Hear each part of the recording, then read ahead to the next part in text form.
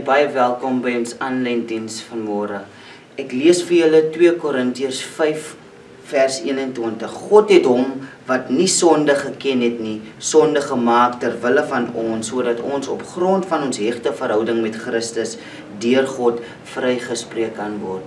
Vriende, ek wil u bemoedig, kom ons leef uit ons identiteit in Christus. En dan volgende week, die 29ste November, het ons doop. So as jy meer inligting wil hê, kontak ons op WhatsApp, stuur ons 'n Facebook boodskap of e-mail ons. En dan het ons ook nagmaal volgende week. So kom celebrate met ons nagmaal hier op ons aanlyn diens. Vriende, kom ons aanbid Jesus Christus deur saam te sing.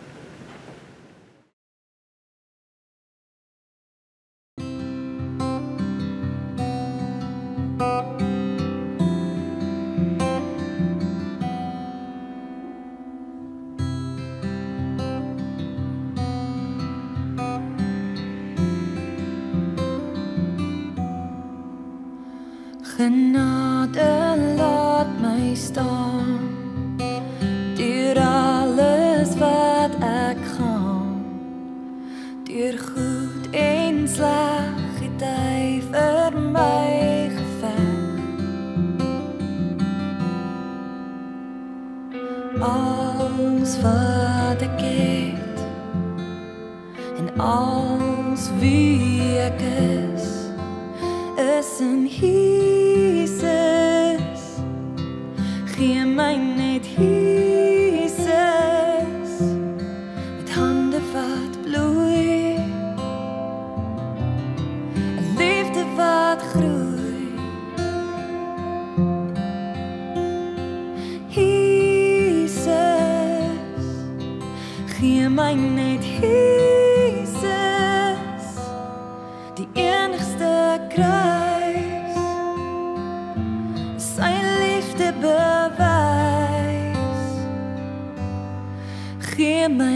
Net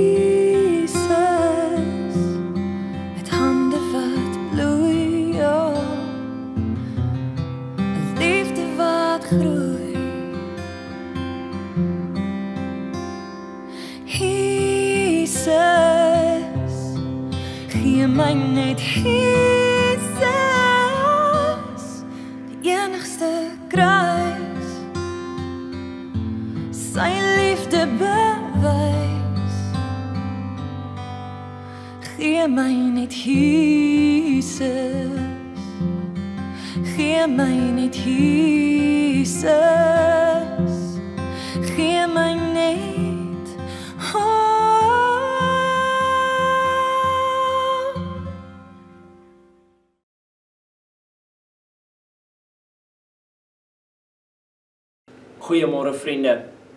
Jesus, hy is die ware held van die storie. Volgens sien ons dat Jesus ontvang sy identiteit van die Vader en vanuit hierdie identiteit wat hy van die Vader ontvang, vanuit dit wat die Vader oor hom sê, lewe hy nou sy bediening hier op aarde uit. Die evangelie sê vir jou en my, ons verdien nie ons identiteit nie. Dis nie 'n prestasie wat ons verdien nie, maar dis iets wat ons ontvang. My identiteit as 'n kind van die Here as 'n Jesus volgeling is iets wat ek ontvang. Dis nie iets waarna toe ek werk nie, dis nie iets waarna toe ek streef nie. Dis nie iets wat ek bereik nie. I achieve identity. No, no, no, no.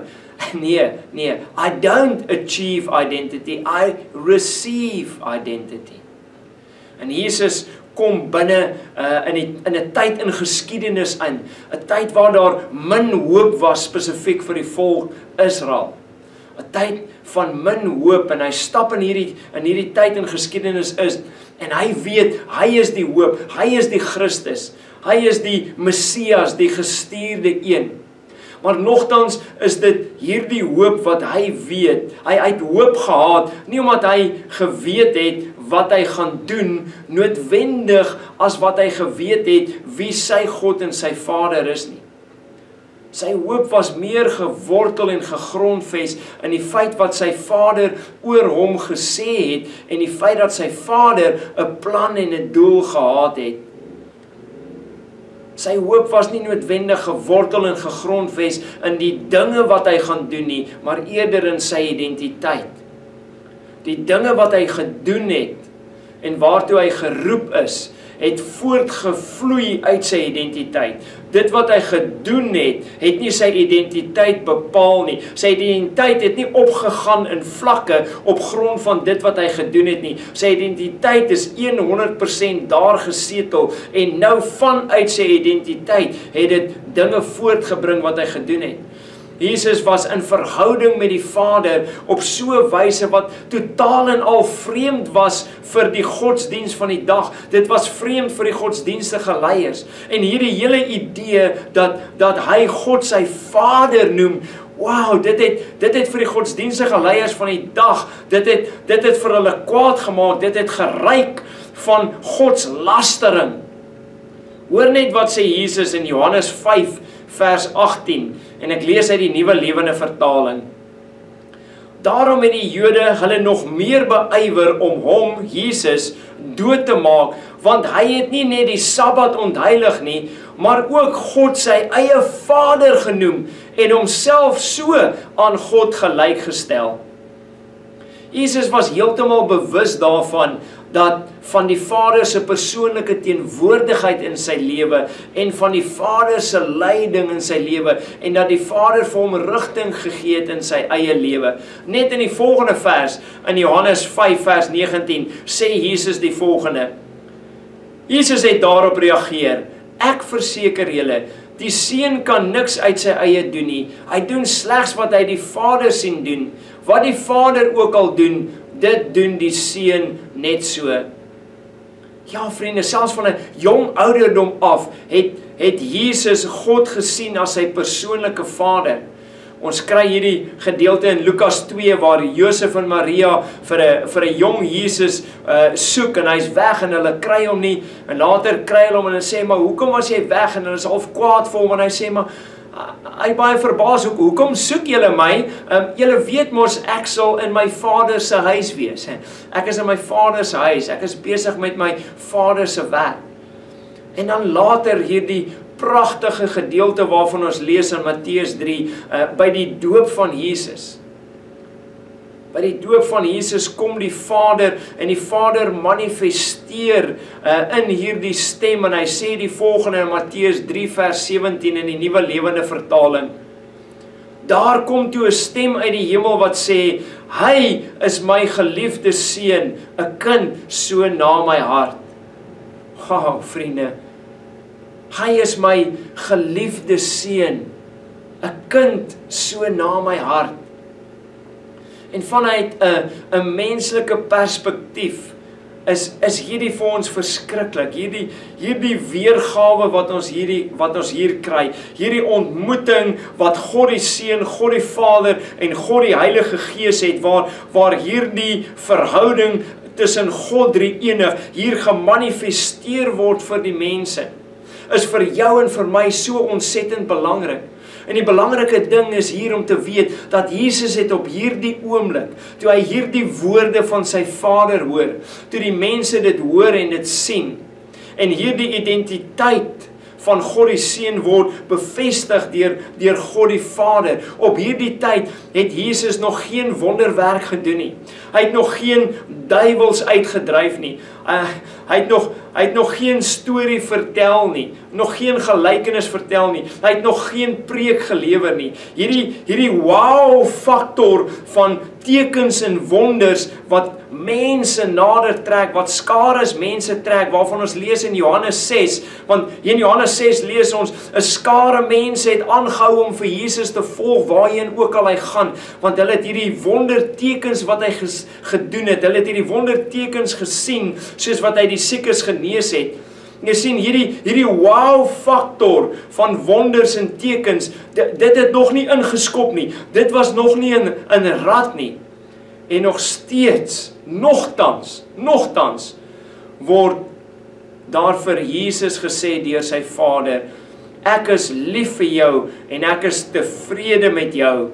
Jy's 'n kind, jy's 'n seun so na my hart. Ek is tevrede met jou. Ons moet stil staan hier by vriende. Ons moet nie te vinnig van hierdie punt af beweeg nie.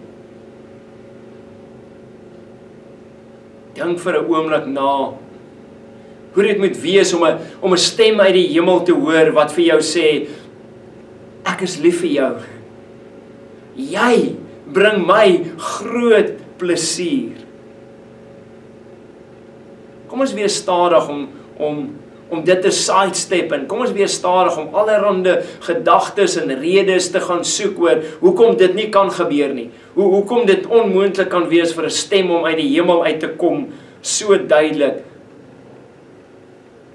Nog meer. Kom ons wees versigtig dalk miskien om te sê maar God sal dit nooit van my sê nie. Miskien is dit jy vanoggend, miskien sê jy ja maar maar, maar God die Vader sê dit van God die Seun want ja, hy was perfek, maar maar God sal dit nooit van my sê nie. Nee. My liewe vriend, kom ons wees stadig om dit te sê. Moenie toelaat dat dat hierdie gedagte, dat hierdie leuen uh, oor jou kom vandag en dat jy gevangene word van hierdie leuen dat God dit nooit van jou kan sê nie. Miskien is dit Hoekom jy nog nie Jesus volg nie, omdat jy vasgevang is in hierdie leuen en jy dink dat God nooit vir jou kan sê dat hy jou liefhet en dat hy tevrede is nie en dat jy hom groot plesier bring nie. Miskien is dit hoekom jy opgegee het op op Christendom, maar maar vandag net weer besluit het om dalk net weer te probeer en weer net te hoor, dan wil ek vir jou sê daar is goeie nuus vir jou. Daar is goeie nuus. Want ja, ek kan nie my my identiteit verdien nie. Ek kan nie goeie werke doen nie. God is nie lief vir my en sê vir my ek bring hom groot plesier op grond van die goeie werke en die goeie dinge wat ek doen nie.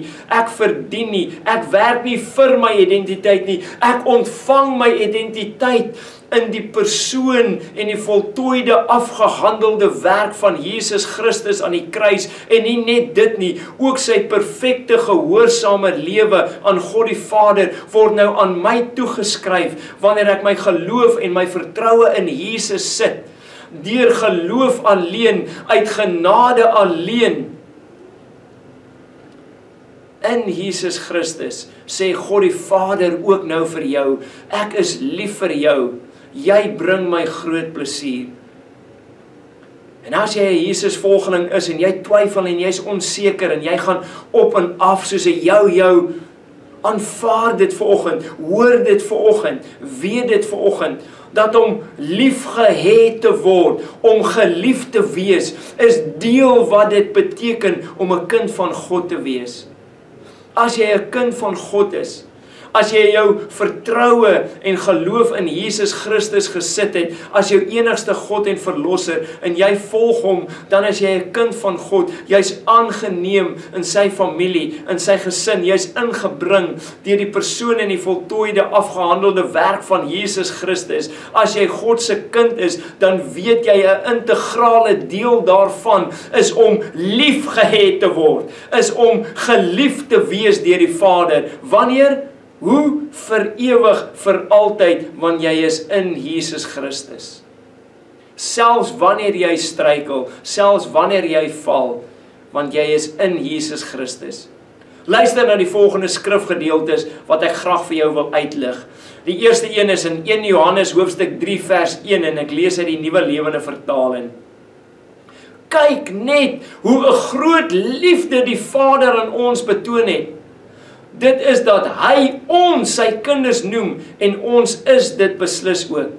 sien vriende, sien hierdie groot liefde wat die Vader aan ons betoon het. Hierdie liefde betoon hy aan ons nie omdat ons iets doen nie, omdat ons sy liefde verdien nie, maar Romeine 5 sê ook vir ons, toe ons nog sondaars was, toe ons nog God se vyande was, ja, reeds op daardie regte tyd het God God die Vader, God die Seun gestuur en het Jesus Christus in ons plek vir ons sondes gesterf en die volle straf van ons sondes op hom geneem en word ons nou gerekonsilieer met God en kan ons is ons verhouding reggestel met God, met ons Skepper deur wie Jesus is en wat hy gedoen het. Dis die groot liefde wat die Vader aan ons bewys. Hy het nie eers gewag dat ons die regte dinge doen of eers ons lewe uitsorteer of eers bymekaar kom nie. Sy groot liefde het aan ons bewys.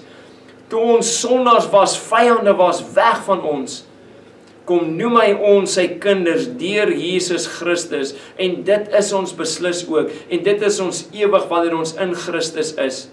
Net in die volgende hoofstuk in 1 Johannes 4 vers 10 hoor net wat sê God vir ons hier. Dit is volmaakte liefde. Nie dat ons vir God liefgehad het nie, maar dat hy ons liefgehad het en sy seun as 'n versoeningsoffer gestuur het om ons sondes weg te neem. Wow vriende, God die seun het gekom as 'n versoeningsoffer daar aan die kruis, nie omdat ons dit verdien nie, juis omdat ons dit nie verdien nie, juis omdat ons nooit kan opleef tot sy standaard nie, juis omdat ons ons identiteit nooit kan verdien nie, juis omdat ons nie kan presteer tot perfektheid nie, maar Jesus het gekom in onvoorwaardelike liefde het hy die versoeningsoffer geword vir my en jou. God het my eerste lief gehad nog voor ek hom lief gehad het. Het hy my lief gehad. Hoor wat sê Efesiërs hoofstuk 1. Efesiërs hoofstuk 1 vers 4 tot 6.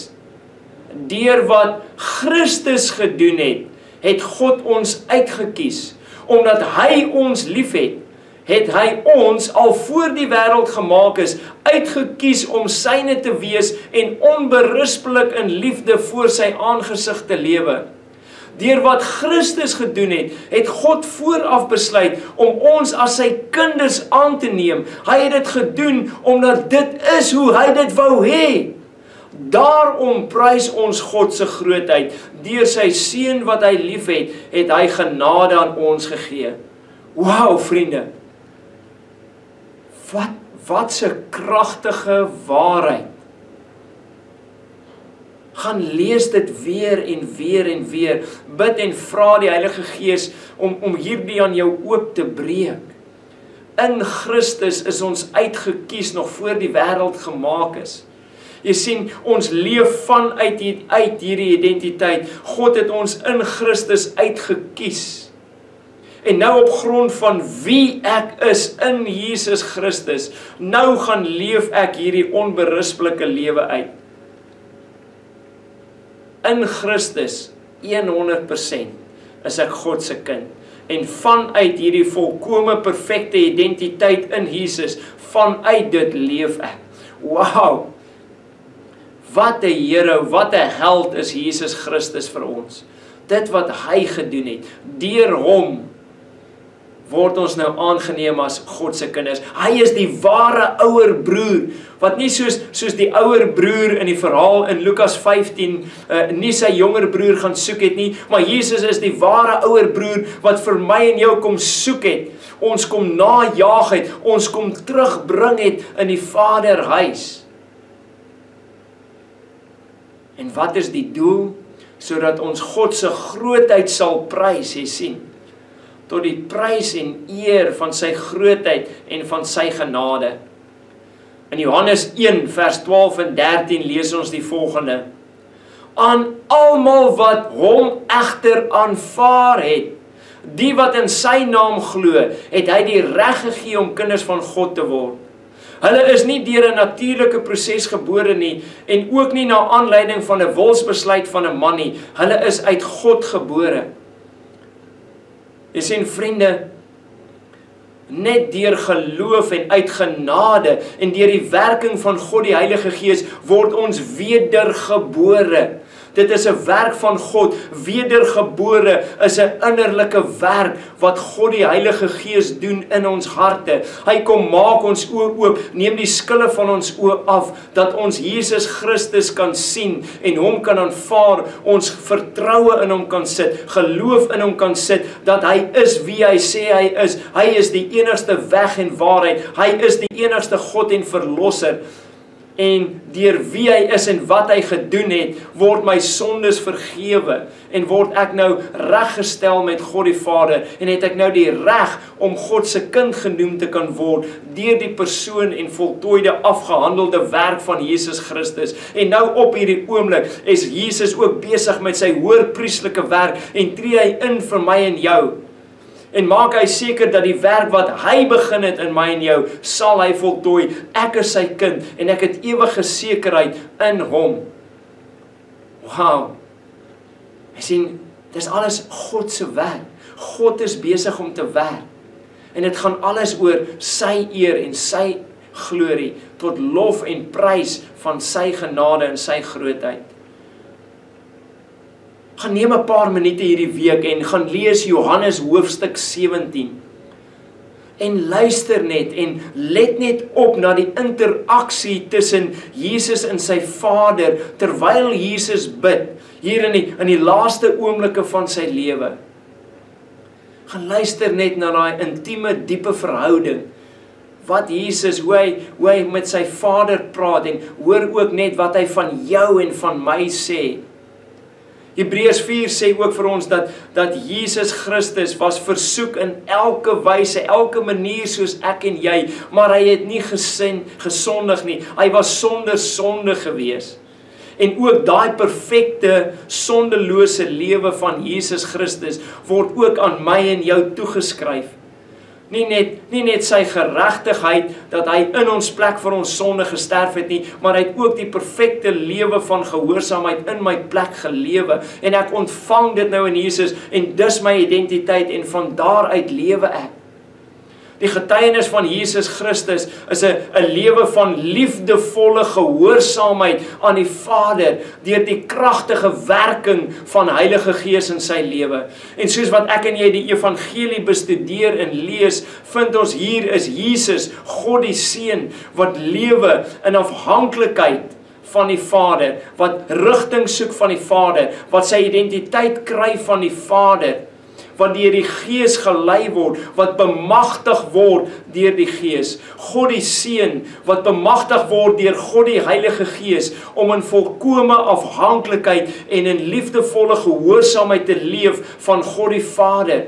Ons sien hier wanneer ons die evangelie bestudeer dat Jesus Christus ook in in verhouding is in vennootskap met die Vader om die Vader se werk te doen, dat dit oor die Vader se werk gaan, oor die eer en verheerliking van die Vader se naam. So in Johannes 17 sal jy gaan lees, daar sê Jesus, 'n uh, Vader, ek het ek het u eer gebring. Ek het glorie tot u naam gebring deur die werk te voltooi wat u vir my gegee het om te doen. Jy sien vriende, ek en jy het nie werk nie. God het werk. God het 'n missie. God het 'n plan. God het 'n doel. En wat 'n voorreg het ek en jy nie dat God vir my en jou sal kies om deel te wees van sy plan, van sy werk. En dit wat ons doen, bring eer en glorie tot sy naam. Dit gaan alles oor hom. In Lukas 10 sê Jesus nadat hy die 72 uitgestuur het en hulle kom terug en hulle is opgewonde en sê Jesus, "Wow, tot die demone, die duiwels het hulle self uh, onderhewig gemaak aan ons by die hoor van u naam." Hulle het geluister na ons in die krag en die autoriteit van u naam en Jesus sê as te ware, "Dit is goed so. Ek is bly daaroor, maar weet jy, ek wil hê julle moet werklik opgewonde wees. Die grootste ding waaroor jy moet opgewonde wees, is dat jou name opgeskryf is in die boek van die lewe. Met ander woorde, hierdie werke is goed en is reg, maar weet jy wat is beter? Weet jy wat is die een ding wat jy nie moet vergeet nie, is dat jy God se kinders is, dat jy nou my volgelinge is dat julle God se kinders is. Hierdie werke doen julle nie om julle identiteit te kry en te verdien nie. Nee, maar dis vanuit julle identiteit wat julle ontvang in my as God se kinders wat julle hierdie werke doen. En ons moet versigtig wees vriende dat ons dat ons werke nie nie groter raak ons as as ons identiteit nie. Dat ons nie meer vreugde vind in ons werke as in ons identiteit nie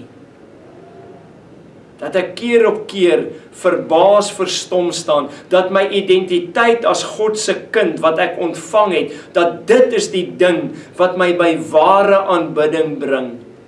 En van daaruit vloei die res van my werke. En daai werke word nie gebruik om my identiteit te valideer en dit reg te stel en reg te maak nie nee dis uit liefdevolle gehoorsaamheid wat ek leef omdat dit eer en lof bring tot die Vader. Jesus is die ware hero, die ware held van die storie en hy ontvang sy identiteit van die Vader en vanuit hierdie identiteit wat hy ontvang, leef hy nou uit. Hy leef nou hierdie identiteit uit in God se storie in liefdevolle gehoorsaamheid tot die Vader en in diepe afhanklikheid van God die Heilige Gees en dis dieselfde vir my en jou. Ons kan nie anders nie. Wanneer ek en jy Jesus volg, dan doen ons dit ook soos wat die held van die storie dit doen. Ek volg ook Jesus Christus vanuit my identiteit wat ek ontvang het in liefdevolle gehoorsaamheid. Nie in slaafse gehoorsaamheid nie, maar my identiteit wat ek in Christus ontvang het dryf my en vat my tot liefdevolle gehoorsaamheid, tot vreugdevolle gehoorsaamheid en in afhanklikheid van die krag en die leiding van Heilige Gees. Vriende, Jesus kom gee vir ons 'n voorbeeld. Hy is die die model. Hy's eers my God en verlosser en en daarna is hy hierdie rolmodel van my wat vir my wys hoe ek my identiteit van die Vader kry en hoe ek dan nou hierdie identiteit uitleef in die Vader se storie. En miskien kyk jy vandag hierna Miskien het jy gewonder, ek wil dalk Christendom nog 'n laaste kans gee. Ek wil weer 'n keer probeer, maar maar ek is nooit goed genoeg nie. Ek kan nooit opleef tot hierdie standaard nie en daarom is ek moedeloos en en daarom gee ek op. Wel, jy's reg, jy jy gaan nooit op jou eie kan oplewe tot God se standaard nie. Jy gaan nooit jou identiteit kan verdien nie. Maar jy ontvang dit in die persoon en afgehandelde werk van Jesus Christus. Daarom is die goeie nuus vanoggend van jou vir jou en van jou is kom na Jesus toe. Gee oor. Surrender. Sit jou vertroue in jou geloof in wie hy is, dat hy die enigste God en verlosser is. En dat deur genade, deur geloof en uit genade alleen word jy in die persoon en afgehandelde werk van Christus aan die kruis word jy vrygespreek en word jou sonde vergewe. Alles in die verlede, die hede en die toekoms.